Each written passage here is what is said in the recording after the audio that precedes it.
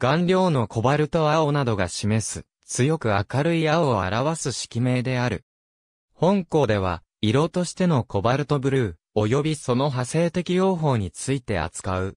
色剤としてのコバルトブルーに用いられる色料は様々であり、単一顔料としては、コバルト青、海壁がある。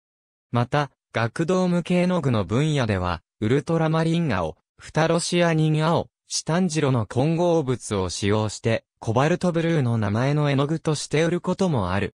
専門家向け絵の具でもウルトラマリン青、フタロシアニン青、二酸化チタンの混合物を使って、コバルトブルーヒュあるいは、コバルトブルーチンともしくは、コバルト、ブルートーンの名前で絵の具を作ることもある。顔料である、コバルト青については、コバルト青を参照。海壁を参照。別名、マットブルー。なお、海壁を、コバルト青と呼ぶことはないが、セラミックの分野では、海壁は、コバルトブルーとは呼ばれる。大抵は、海壁との名で扱われる。加えて、セラミック顔料としても海壁ではなく、蒸気コバルト青、コバルトブルーと呼ぶ場合もある。